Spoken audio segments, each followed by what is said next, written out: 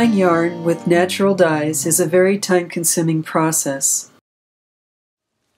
The plants, minerals, and cochineal must be cultivated or gathered at just the right time, and then each one has its own multi stepped preparation to master.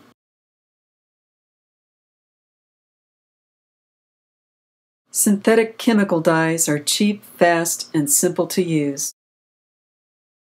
For these reasons, most weavers are now using chemical dyes, and the art of traditional Zapotec dyes has almost been lost to the past.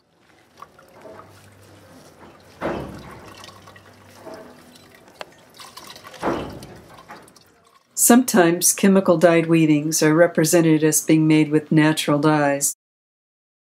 It can be hard for the layman to distinguish between natural and chemical dyes, but here we can show you a few simple tests that can be performed at home. Cochineal insects are hard to grow and gather, making it one of the most expensive natural dyes, and consequently, one of the most common dyes to be replaced with chemicals. To test for real cochineal, take a piece of red yarn and place it in a small, non reactive pot, such as glass, enamel, or stainless steel. Add enough fresh lemon juice to cover the yarn and boil it for about five minutes. So it's boiling now. If the yarn has been dyed with cochineal, it will lighten in color, whereas chemically dyed yarn will not change. The boiling lemon juice. Here it is. We're rinsing in water.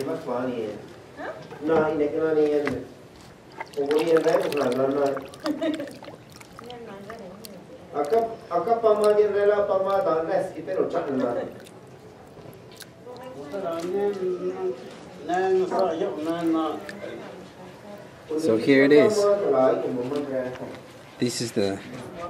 That's how you could tell it's a natural dye. Definitely a big difference Yes, by the lemon juice only. The lemon juice makes it react. Another characteristic of plant dyed yarns is the residual fragrance of the plants that were used to dye them. These natural scents can range from earthy to fresh green to mossy and herbal. The moss, this comes from up, up high in the mountains. Um, and this is tree moss. Plant dyes and even cochineal impart organic, natural hues.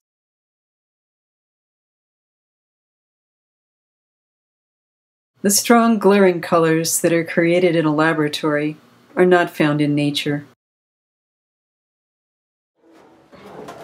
The family of Porfirio Gutierrez is dedicated to using only the natural and sustainable methods that they have inherited from their Zapotec ancestors.